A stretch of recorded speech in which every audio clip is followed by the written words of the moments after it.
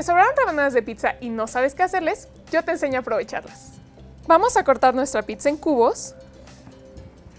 Es importante que intentes que tus cubos queden del mismo tamaño para que no tengas unos más cocidos que otros.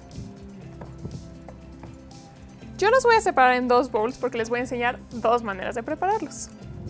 Al primero le voy a echar aceite de oliva y un poco de chile en polvo. Y lo mezclamos bien. A este le vamos a echar jugo sazonador y salsa inglesa.